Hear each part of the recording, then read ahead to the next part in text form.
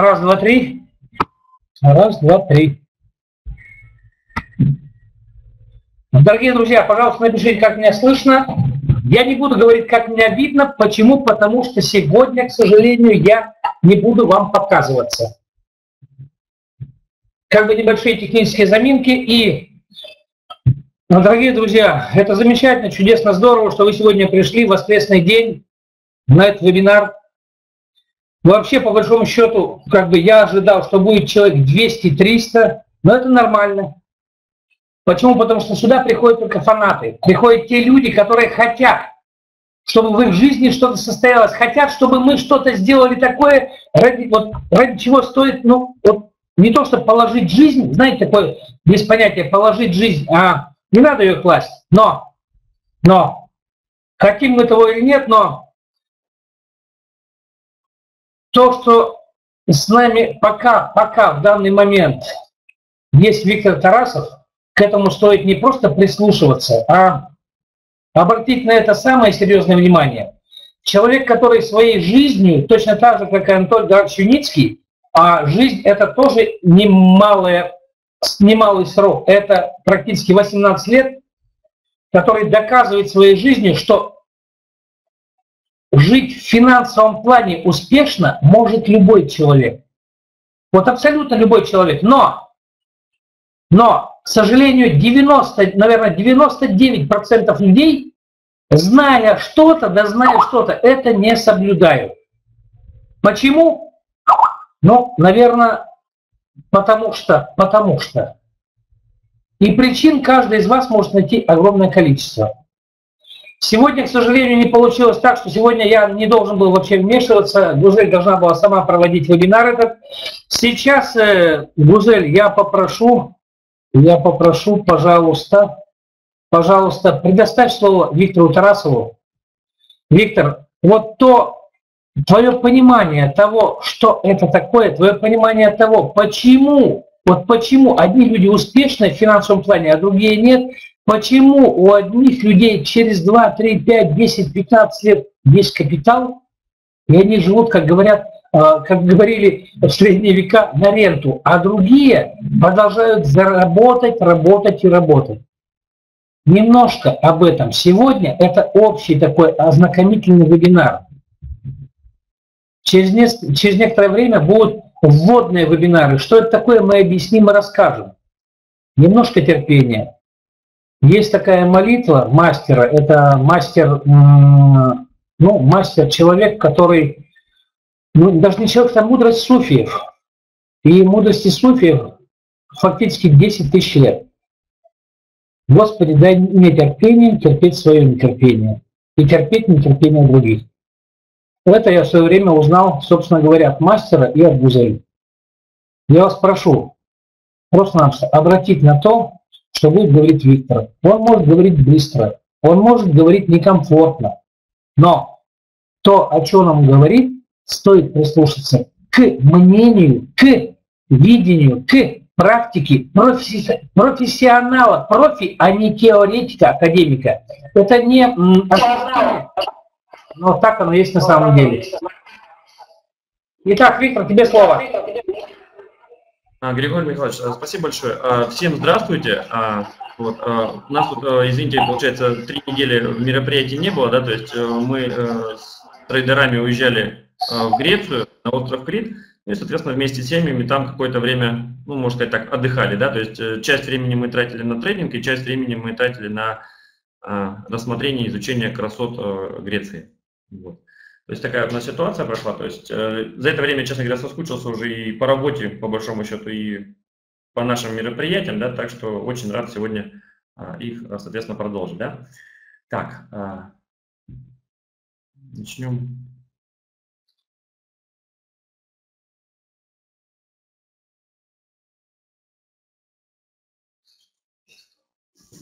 А, Гузель, а если можно, а, тоже включить, пожалуйста, в нашу беседу ВКонтакте, то есть как что там нужно передавать, чтобы, чтобы более грамотно у нас все пошло.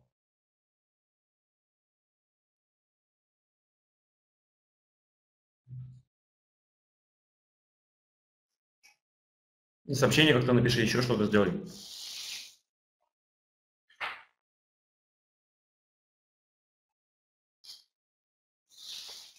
А, хорошо, Гузель, давай.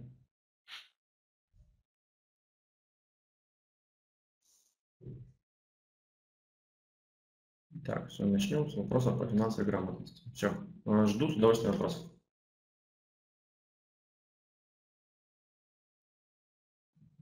Ну, опять же, да, здесь буду, соответственно, повторяться, какое-то количество раз приходится, да, то есть э, э, финансовая грамотность, что такое? То есть это, по сути, у нас есть необходимость жить хорошо не только сегодня, да, но и завтра. Вот. Финансовая грамотность позволяет нам правильно распределить те ресурсы, которыми мы обладаем на сегодняшний день. То есть жизнь устроена таким образом, что то, что у нас есть сегодня, э, при э, малейшем грамотном использовании может э, кормить нас э, всю оставшуюся жизнь или даже несколько поколений вперед. Да? То есть достаточно просто не лениться и грамотно этой ситуацией воспользоваться. Да? То есть э, в мире есть большое количество различных инвестиционных возможностей, вложений, да? то есть, и, соответственно, неплохо было бы их все знать, ну и своевременно этим, этой ситуацией пользоваться. Вот. А, мы, соответственно, что можем а, в этом направлении э, сказать? Да? То есть бывают различные кризисы, как правило, это возможности для людей хорошо заработать, сохранить капитал, потом в настоящей его ценности, да, то есть покупательной способности в той же валюте или в каких-то активах. Да? Ну и, соответственно, когда кризис произошел, грамотно этой ситуацией воспользоваться и на этом уже достаточно хорошо и несложно, самое главное, зарабатывать. Да? То есть, также, соответственно, существуют различные инвестиционные идеи, инвестиционные проекты, тоже вовремя подключившись к которым, да, то есть можно достаточно э, грамотно, качественно и хорошо э, заработать капитал, который поможет в дальнейшем э, зарабатывать на других проектах, ну а все вместе, по сути, поможет жить просто лучше. Ну, насколько лучше, это уже, наверное, каждый сможет определить сам. Да? То есть, если дисциплина и определенные знания существуют, достаточно несложно продвигаться вперед и достигать каких-то хороших уже результатов.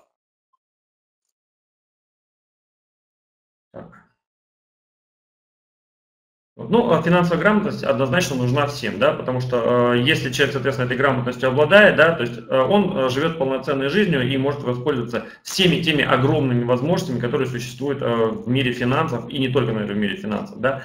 Если, соответственно, человек э, этим не владеет, не пользуется и тем более не знает про это, ну, это, наверное, уже определенная роскошь получается, да, то есть э, в современном мире э, не знать, что такое финансовая грамотность, уже, наверное, недопустимо. Вот, потому что иначе мы э, теряем огромное количество и ресурсов, и, к сожалению, э, времени в нашей жизни. Да? То есть, а так как, соответственно, время жизни у всех ограничено, соответственно, нужно э, им пользоваться максимально грамотно. Вот, и тогда, соответственно, это нам даст большие плюсы. А, Гузель, пожалуйста, с вопросами.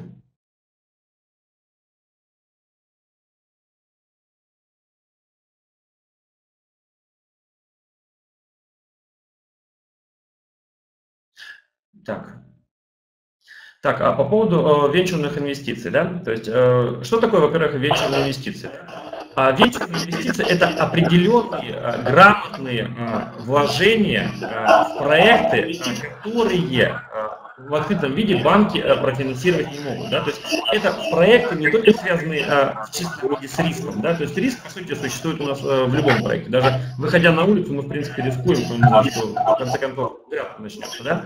Вот. Это определенные проекты, грамотно подобранные, но э, которые изначально банки или крупные фонды финансировать не могут, не хотят, там разные критерии. Да? А вот специализированные фонды, специализированные, скажем так, Э, команды э, людей, да, то есть э, могут грамотно разобраться в этих проектах и, соответственно, в эти проекты грамотно денежные средства вкладывать. Плюс через венчурные инвестиции, да, через краудинвестинг, соответственно, такая возможность появляется и у простых граждан, соответственно, ну, наверное, во всем мире, да. И вот если есть команда, которая грамотно эти проекты оценивает, видит и правильно показывает их, ну, скажем так, людям, то и люди в данном случае, понимая, что такое финансовая грамотность, могут этими проектами воспользоваться. То есть раньше венчурные инвестиции были доступны только ограниченному количеству людей. Сейчас, соответственно, эта возможность уже существует, ну, скажем так, почти в повсеместном варианте. Куда сейчас... Так, э, Пака, по, по вопросам идти или как делать? То есть вот э, вижу сейчас по вопросам, да, вот э, Вера пишет. А куда сейчас лучше вкладывать денежные средства, кроме Skyway? Так, это как бы имеет отношение к нашему? Ну, а денежные средства нужно вкладывать в те проекты, которые вы понимаете, раз, да, а, риск которых вы готовы на себя взять, Вот, ну и доходность по этим проектам, которые должна вас устраивать. То есть, если по этим проектам идет очень большая доходность или очень маленькая, соответственно, нужно понять для себя, то есть, э, почему так происходит, ну и хорошо это в данном случае или недопустимо. То есть, если вы считаете, что все хорошо и дает большую доходность, ну, значит, просто очень здорово, все, можно заработать больше. Вот. Если, соответственно, все хорошо, но дает маленькую доходность, нужно подумать, а имеет ли смысл связываться, в принципе, с такими проектами. Вот. А каждый, еще раз говорю, определяет для себя а, доходность, которая его устраивает. А для себя я э, такую границу держу порядка 20, э, ну не знаю, 24% э, годовых. То есть, если проект дает эту доходность или больше, а больше это может быть хоть сколько, там, хоть 100, хоть 200, хоть, хоть сколько, да, вот это здорово, соответственно. Если, соответственно, а, этой доходности нет, то, то, наверное, этот проект, наверное, не очень был бы интересный. Вот. Ну, в данном случае, как бы я рассчитываю, что проект принесет эту доходность, соответственно, мне это интересно, и я в этом участвую. Ну, еще раз напоминаю, венчурная инвестиция ни в коем случае не гарантирует осуществление проекта а, на том уровне, как мы это ожидаем. Вполне возможно, что это будет лучше. Возможно, это будет хуже, чем мы ожидаем. Но в любом случае, э, э, полезный проект проходит, да, и он дает, соответственно, социальную пользу, он, соответственно, э, приносит доходы тем, кто, соответственно, в этом проекте участвует. Вот. Ну, особенно мне бы, скажем так, нравились адресные проекты, которые, надеюсь, скоро начнутся, да, то есть и они, наверное, привлекут очень много внимания. Ну, опять же, будучи жителем э, Российской Федерации, мне были бы интересны проекты, конечно, в России. Вот. Вот.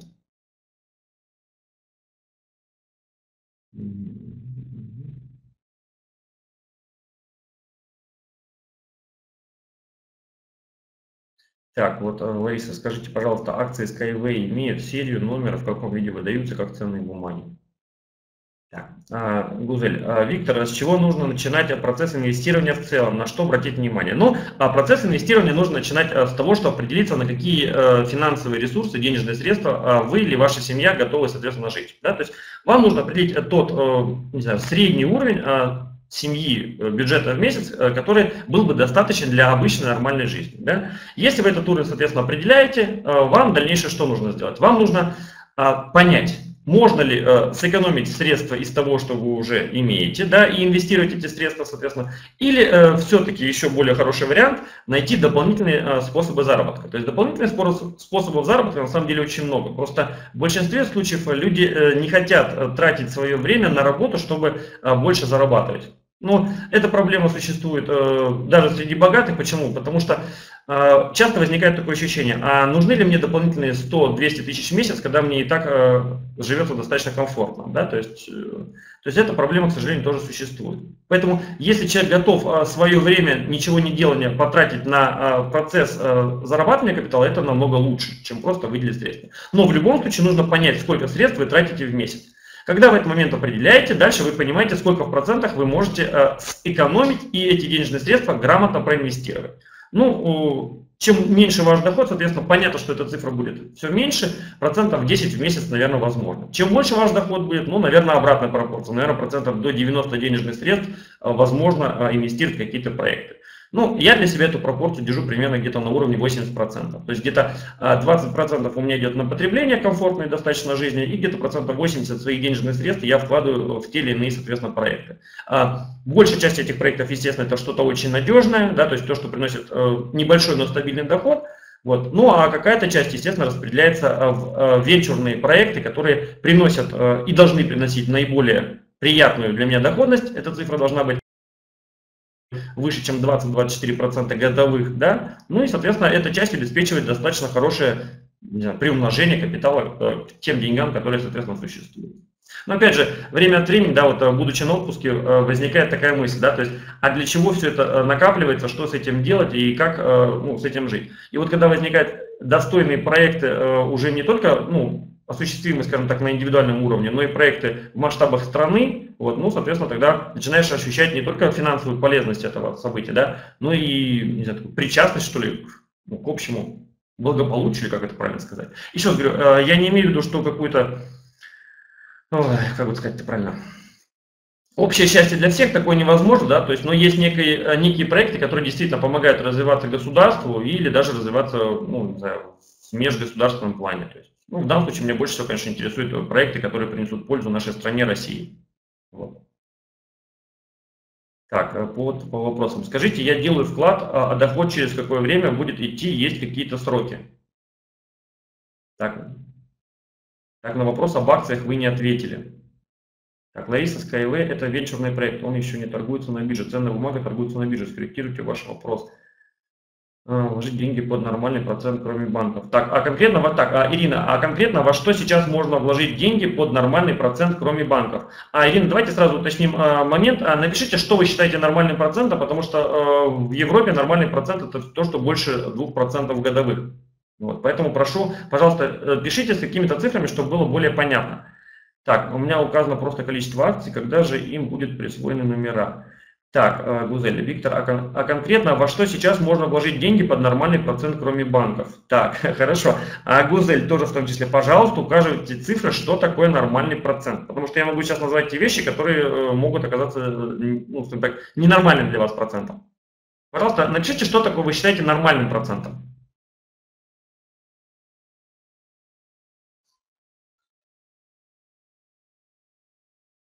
Криптовалюта, ее жизнеспособность в России, как вы сказали, более 20%.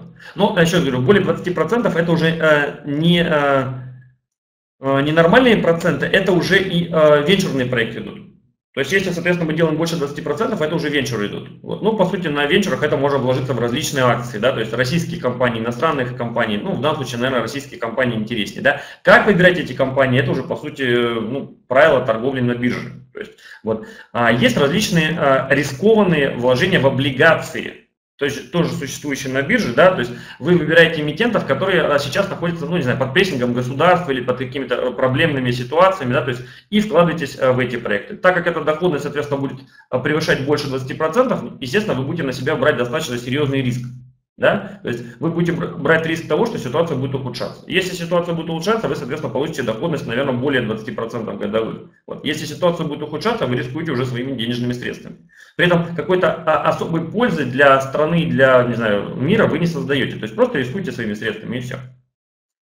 Так, э, виртуальные акции и облигации. Нет, э, понятия виртуальные акции и облигации не существует, да, то есть на бирже есть э, конкретные названия конкретных э, предприятий, конкретных э, фирм, да, то есть имеющие свои, ну, скажем так, коды, свои данные на бирже, да, то есть так, более 20% дают микрофинансовые компании, стоит ли с ними связываться, какой риск? А я считаю, что с микрофинансовыми компаниями связываться стоит, да, то есть также единственное нужно оценить э, срок существования этих компаний, да, то есть и э, под кем они находятся. То есть если э, микрофинансовые организации находятся под крупными структурами банковскими, да, то есть и уже существуют, скажем так, желательно более двух лет, да, то, наверное, такие микрофинансовые организации чувствуют себя достаточно комфортно. Да? То есть, ну, не могу сказать, что у них там доходности явно идут больше 20%, там сейчас доходности в текущий момент существуют а, в размере 17-20-22 ну, максимум, то есть 17-20%, то есть вот на грани а, тех самых 20% есть. А, я, естественно, тоже имею а, свои, а, часть своих вложений в а, потребительских кооперативах, да, то есть, к которым относятся, соответственно, микрофинансовые организации, да, то есть, ну, я считаю, вполне нормально. Притом эти вложения у меня занимают а, больше четверти моих денежных средств. Конечно, соответственно, риск существует, но это риск такой уже системный, да, то есть должно что-то кардинально плохое произойти, да. Учитывая, что у нас а, были некие потрясения в 2014 начале 2015 года, и эти компании а, выжили, то я как бы проблем, скажем так, хотя бы года до 2019 в них не вижу. А если не вижу, значит, соответственно, могу, соответственно, вкладываться. Конечно, я бы хотел бы вкладываться под них под более высокие проценты, но доходности на уровне 17-20 процентов, на текущий момент это наверное, максимум, что они могут показать, а, не имея каких-то лишних не знаю, опасений за их э, существование. Вот. А, Гузель, пожалуйста, еще с вопросами.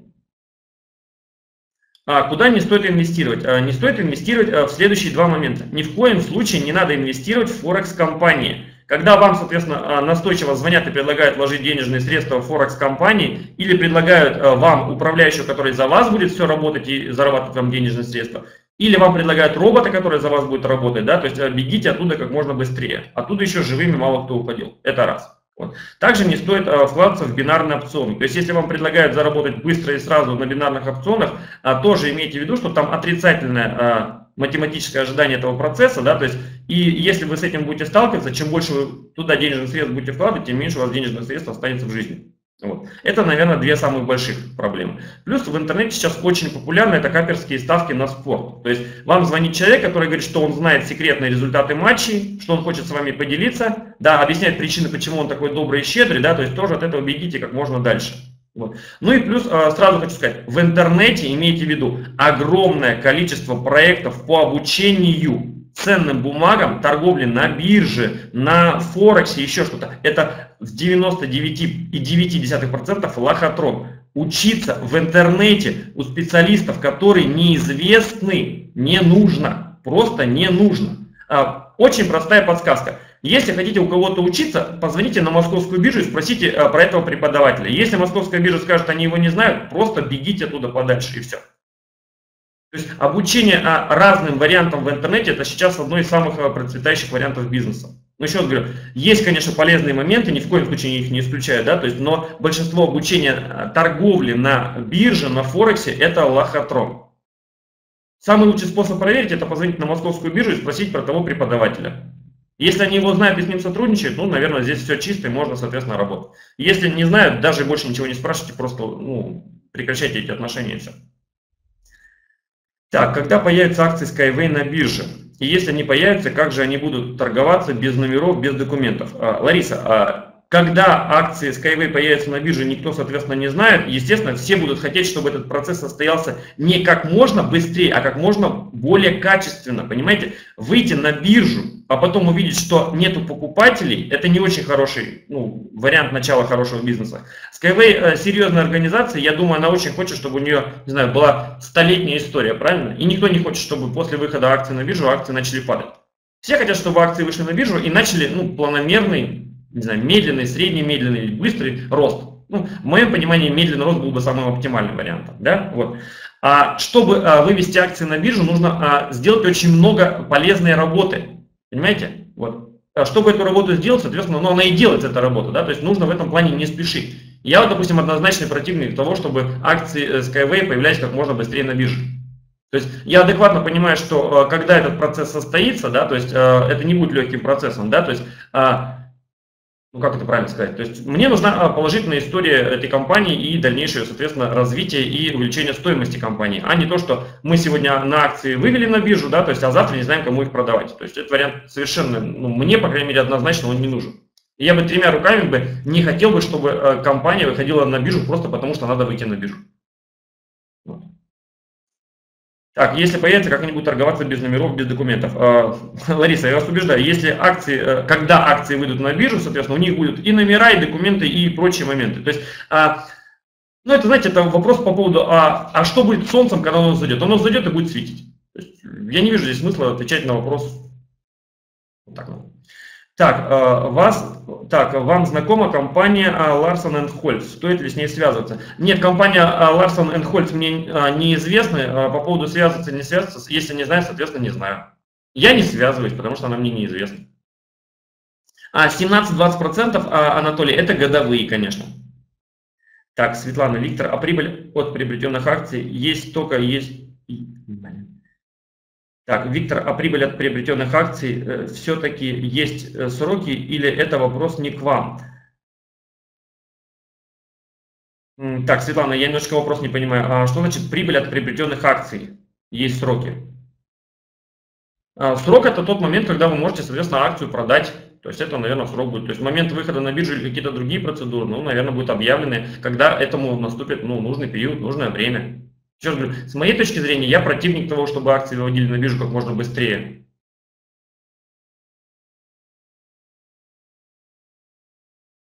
Так, название и минимальный порог входа этих кооперативов в компании назовите для примера. Ну, э, входы могут быть, в принципе, и 1000 рублей, да, то есть, а название э, этих компаний, это, наверное, надо уже просто в интернете смотреть по порядку, выбирать. То есть, это достаточно кропотливая работа, да, то есть, и часто грамотный подбор, это, ну, ответственность тех, кто это, соответственно, делает.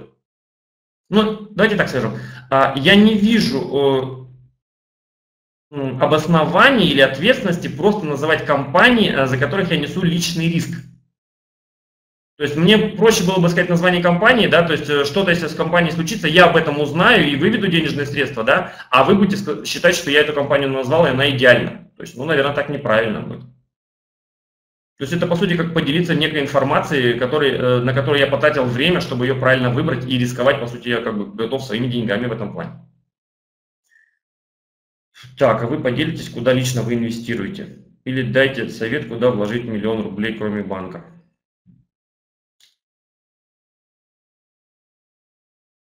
Так, ну так, э, Лев Лобов. Ну каким образом ожидать и главное, какой период э, дивиденды, это актуально? Ответьте, уважаемый Виктор.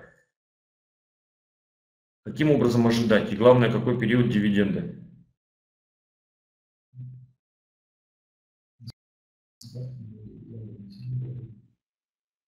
Ну, смотрите, а дивиденды любой компании зависят от тех проектов, которые они, соответственно, осуществляют. Если, соответственно, пойдут проекты, соответственно, будут а, объявлены или, соответственно, дивиденды конкретные, да, или какой-то байбек, то есть так называемый обратный выкуп, да, то есть или просто процесс дальнейшей подготовки к следующему конкретному проекту, да, то есть э, компания может провести э, один проект и заплатить дивиденды, то есть ее право, компания может э, провести 10 проектов и ни разу не заплатить дивиденды, тоже, кстати, очень хорошо. Почему? Потому что невыплаченные дивиденды – это, по сути, денежные средства, вложенные в саму компанию. А если денежные средства вложены в свою компанию, это увеличивает стоимость э, акций самой компании. Кому-то нужны дивиденды. Вот мне в данном случае дивиденды абсолютно не нужны. То есть мне нужна стабильная, хорошая компания, которая со временем а, сможет выйти на биржу, да, существовать там, развиваться и двигаться дальше по стоимости. Еще раз говорю, то есть ожидания по доходности у меня достаточно консервативные. То есть любой проект доходностью 20% годовых и выше мне вполне устраивает. Как это будет развиваться, мне без разницы. Так, капитализация уже формирует, она растет. А капитализация уже формируется, она растет. Это ли не признак успешности компании, мотивация выхода ее на биржу? Спасибо. А капитализацию компании формирует а, именно биржевой процесс. То есть, когда компания выйдет на биржу, соответственно, будут а, общие, ну, не знаю, общедоступные мировые э, котировки. Да? То есть, для меня это будет, соответственно, ориентиром. То есть, капитализация – это то, что я увижу на бирже. То есть, э, ну вот, я считаю так. Идет проект, проект развивается однозначно. То есть я видел сам, как это все происходит. Мне очень нравятся те люди, которые, соответственно, этот проект осуществляют, и дай бог им успеха а, в дальнейшей реализации проекта. То есть по поводу а, роста капитализации, я не могу ничего сказать. Для меня капитализация это биржевые котировки, биржевой процесс, биржевой график. Так, а, Ирина, так в интернете есть предложение зарабатывать на а, субаренде коммерческой недвижимости от вроде китайской компании с обещанием прибыли 10%. Так, Ирина, подскажите, 10% а, в месяц или 10% в год? Виктор почему-то обратил внимание на Skyway. Ну, так, сейчас, Ирина, в месяц это реально. А, Ирина, а по поводу субаренды коммерческой недвижимости 10% в месяц, а, это полная чушь. 10% от субаренды невозможно ни при каких обстоятельствах. Это просто, в принципе, невозможно. Коммерческий бизнес аренды сейчас находится в глубочайшем кризисе. Да? Люди мечтают вывести оттуда денежные средства и разместить их на каких-то более понятных проектах с доходностью порядка 12-15% годовых. 10% в месяц на субаренде, это, а, знаете, я вам скажу так, я скорее поверю, что а, Skyway будет стоить 1000 а, долларов за акцию, чем 10% в месяц на субаренде. Так, а, Гузель, а, Виктор, почему ты обратил внимание на Skyway? Ну, потому что это достаточно понятный а, с точки зрения человеческого понимания проект, да, то есть э, железные дороги, полнейшая их отсталость с точки зрения реальности, да, то есть я вижу, соответственно, какие у нас ездят поезда, с какой скоростью они ездят, и вижу те люди, которые этим процессом, соответственно, управляют, да, вот, понять, что в этом состоянии жить невозможно, да, то есть, и не нужно быть э, даже юнистским, чтобы понять, что что-то нужно менять, а, а юнистский знает, что нужно сделать, чтобы это поменять, то есть, мы все понимаем, что там полный ужас, да, то есть, но что сделать мы не знаем, но, соответственно, э, юнистский знает, что нужно сделать, ну, дай бог ему здоровья и всего лучшего, чтобы он, соответственно, это смог осуществить. Понятно, что у всего этого процесса есть не только сторонники, но и противники, да, то есть, ну, и в хорошем смысле я, ну, не знаю, как сказать, а, желаю ему удачи победить этих э, противников, этих э, недругов, да, то есть и достичь того, что он хочет. То есть то, что он хочет сделать, оно просто гениально, да, то есть на самом деле а, в его понимании ничего тяжелого нету, он это все знает и он это все сделает, да, то есть все остальное, а, вот именно сама окружающая среда создает некие проблемы, и вот это, соответственно, уже нужно сделать. Ну а чтобы все это получилось, соответственно, эти все проекты организованы. Понятно, что в любом проекте очень хорошо, когда есть очень крупные инвесторы, да, то есть которые берут, скажем так, основной удар на себя. Это, наверное, задача любого крупного проекта, то есть в международном варианте или в более страновом варианте. То есть, если у Skyway будет э, какой-нибудь несколько крупных фондов, которые смогут, соответственно, поддерживать Skyway, да, то есть, соответственно, от этого выиграют абсолютно все. То есть, и э, миноритарные акционеры, коими, соответственно, э, мы все с вами являемся, да, то есть, ну и сами, соответственно, крупные фонды, да, то есть, что нужно, чтобы крупные фонды пришли? Ну, наверное, время. То есть, наверное, та работа, которая ведется, к этому приведет. Ну и, опять же, умение бороться с этим тоже очень важно. Так, э, Евгений, расскажите о криптовалютах. Их много. Какие можно признать лояльными, какие мошеннические, как их отличать? А, смотрите, а у нас а, не идет вебинар да, по криптовалютам. То есть это, опять же, достаточно ответственная территория. То есть и просто сказать, что вот это вот можно сейчас использовать, а вот это не стоит сейчас, ну, Ситуация постоянно меняется, то есть назвать конкретные валюты в данный момент и их изменения, ну это специфически, мне кажется.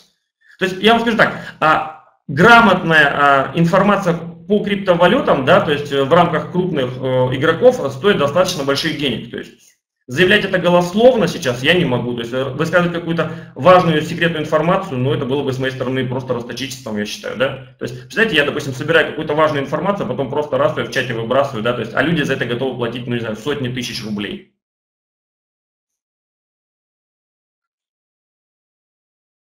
Так, э, эксперты говорят, что через 10 лет половина банков не будет из-за внедрения а, блокчейн криптовалюты. Правда ли? Нет, однозначно неправда. Никакие криптовалюты не смогут а, ключевые банки а, убрать. Да? А половина банков может сократиться по причине своей просто ненужности, нелояльности государствам, то есть и другим моментам. То есть у криптовалют на самом деле будущего не существует. Да? То есть это нормальные игры промежуточные. Поиграют в одну валюту, забросят, поиграют во вторую валюту, забросят. То есть это такой, знаете, интернет-игрушка такая, большая, хорошая интернет-игрушка. Кто первый поигрался в валюту, успел выйти, молодец. Кто, соответственно, узнает о ней последним, но останется, скажем так, а, с носом. А, так, а, вы однократно вложились в КВ или регулярно покупаете? А, нет, это, мне кажется, это частная информация, то есть и я не вижу необходимости, чтобы а, кто-либо, а, кроме меня самого, знал о том, какой пакет а, акций и каких проектов у меня а, в КВ существует.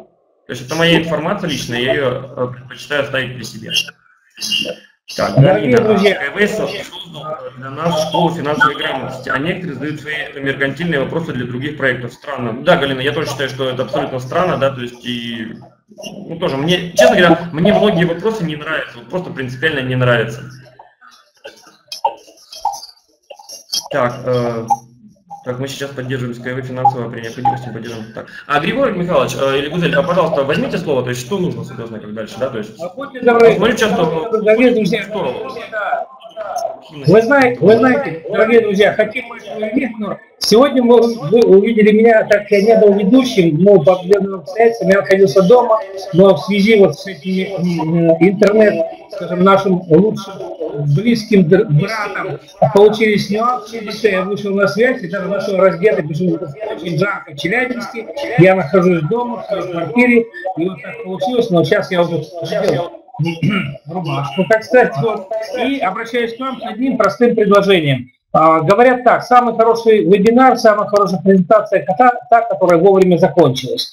Так вот, на сегодняшний день Виктор, конечно, ответил просто, я, я, я, сам, я сам поражаюсь, вот те, те моменты, насколько профессионально он освещает, вот, отвечает на вопросы, я, я просто в шоке, в хорошем шоке. Это действительно так есть на самом деле. Это не, не какие-то заоблачные фантазии, что-то еще, но Реальность есть реальность, И реальность заключается в том, что вот задайте себе вопросом. Я говорю сейчас о Skyway. Виктор не столько говорит о Skyway, сколько он говорит с профессиональной точки зрения, как ну, действительно суперпрофессионал. Суперпрофессионал в финансовых э, вопросах. Но я говорю со стороны Skyway, а вдруг это случится? И это, что вдруг случилось, мы должны своего рода быть фанатами. Помните выражение? Только э, безумные идеи, безумные люди меняют мир. Сумасшедшие люди, сумасшедшие э, идеи меняют мир. И мы это создаем. Мы являемся созидателями. И мы осознаем все риски и важность осознания всех рисков, и в то же время того, что может произойти, это является вот то, а, почему Виктора Тарасова мы пригласили сюда. И при этом в данный момент он делает это совершенно бескорыстно. Вот просто поймите, бескорыстно. Человек, который более двух лет наблюдал за тем, что происходит, после чего вместе с Гузель они полетели в Минск, за свой счет, заметьте, за свой счет полетели в Минск для того, чтобы убедиться, Виктору, в том, что, вот, что происходит, чтобы грамотно говорить о том, что это такое. Дорогие друзья, мы всех благодарим за то, что сегодня были на нашем вебинаре. С вами были Гузель Магасумова, Виктор Тарасов, ну и чуть-чуть Григорий Мержиченко. Я сегодня вообще не должен быть здесь. Виктор, огромная вам благодарность за то, что вы сегодня вышли на вебинар. Неожиданно после отпуска сразу вот так. И следующий вебинар, он будет намного профессиональный. И мы уже переходим во вторник, дорогие друзья, во вторник я всех жду на вебинаре, где мы определимся с тем, кто пойдет уже дальше, вот, э, именно в финансовых вопросах, э, кто пойдет следом. И мы об этом будем говорить во вторник с вами. Виктора Тарасова не будет во вторник, то есть мы по воскресеньям определились, по воскресеньям будет вебинар с Виктором Тарасовым. А дальше уже, я думаю, в ближайшие буквально две, максимум три недели мы определимся с тем, кто, кто, кто будет находиться, скажем так, в другой немножко ипостаси. Для тех людей, эта информация будет для тех людей, скажем, которые берут на себя ответственность, говорят, да, я хочу чему-то научиться, и при этом не просто научиться, но и э, помочь группе компании Skyway именно помочь. И в то же время взять на себя ответственность за что-то, за свое будущее, прежде всего за свое, ну, мы можем говорить большими там словами, глобальными там э, проблемами, но да, обучение будет позже, абсолютно верно. Сегодня у меня вышла заминка с компьютером, друзей пишет, не могу озвучить, к сожалению, формат.